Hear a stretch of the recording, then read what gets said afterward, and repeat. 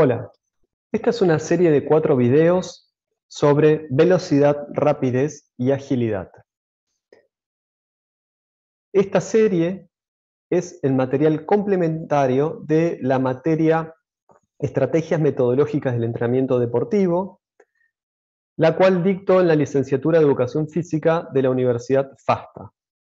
Para quien quiera ampliar el contenido, lo puede hacer en los apuntes que están presentados em, en el libro Preparación física para el fitness y el deporte de rendimiento, una mirada revisionista, el cual les dejaré el enlace en los comentarios.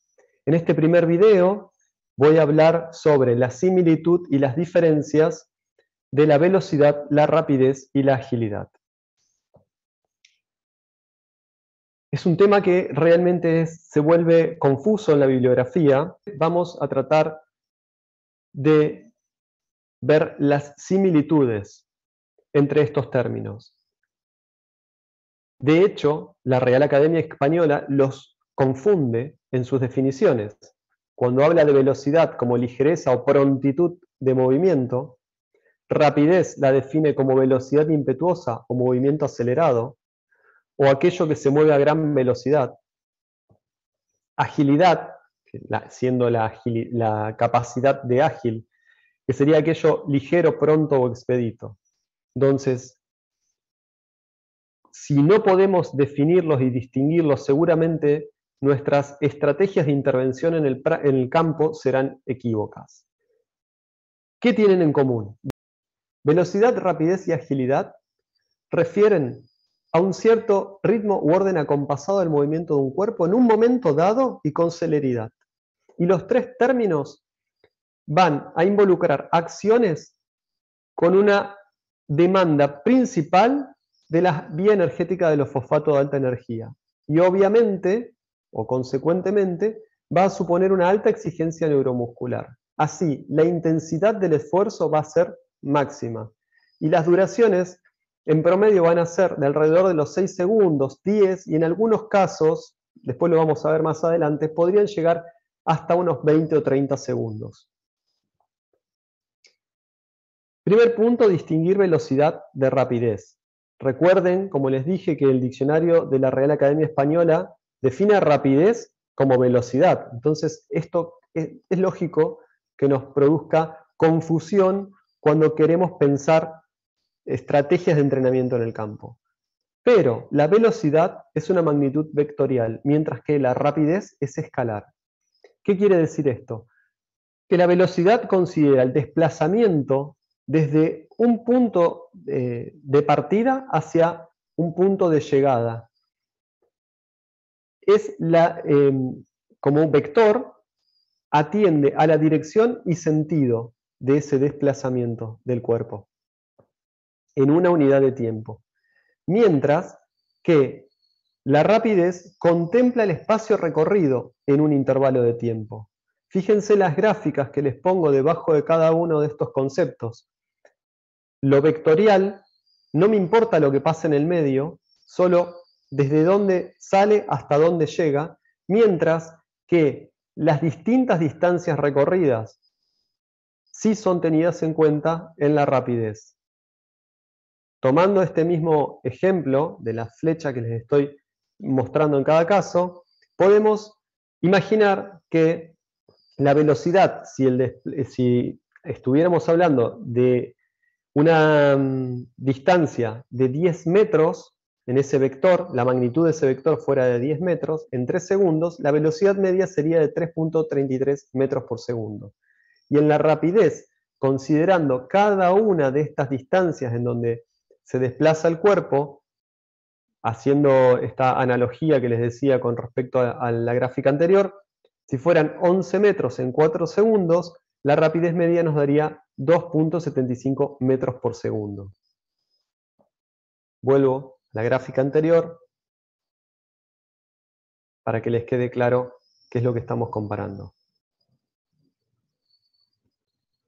Entonces, velocidad va a referirse a carreras lineales, va a ser menos compleja que la rapidez Y eh, hago un paréntesis aquí para explicar que van a ser carreras lineales, entre comillas, porque, por ejemplo, en los 200 metros llanos, donde el, atleta corre eh, la primera parte de la curva, en una curva, en la pista de atletismo también se considera una prueba de velocidad.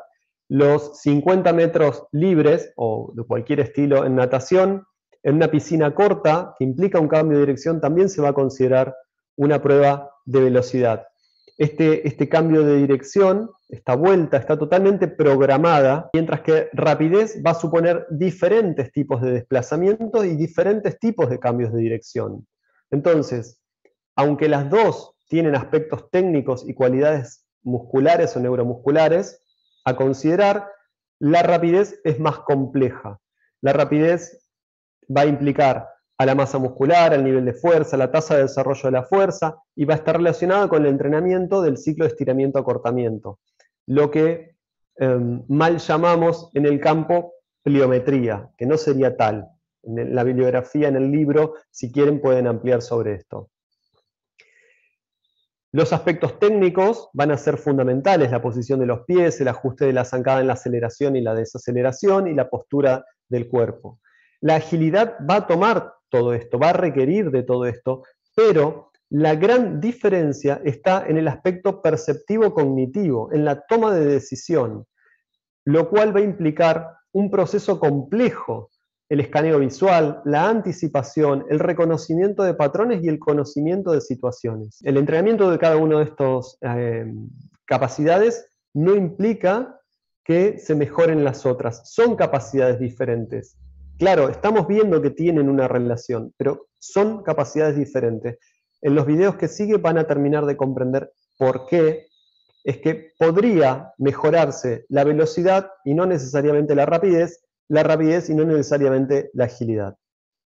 Entonces, para terminar de distinguirlas, en el ámbito del ejercicio, de menor complejidad a mayor complejidad, veremos que la velocidad implica acciones de estructura dinámica estable, la rapidez supone mayor variabilidad motriz y mucho más aún la agilidad.